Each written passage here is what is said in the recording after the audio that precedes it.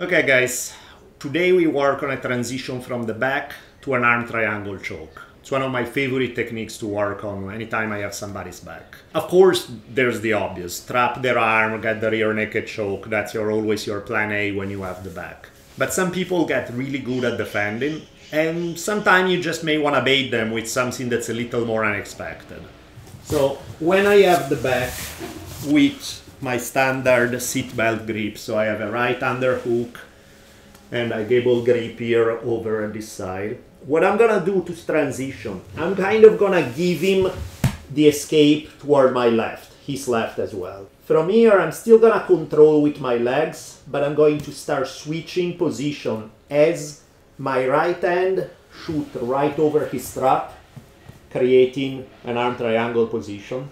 My legs I'm gonna use them to help him move him out so I can slide under him. From here I can turn, and if I keep, I'm leaving space in order to talk to the camera, but what I would do is glue my ear to his face and close this space. As long as I keep just my head closed, he still can get his arm back. So my second arm, I'm gonna use it to push his head toward my bicep as my hand spider crawl in this direction. This closes all the space that there was, even if there was just a tiny bit.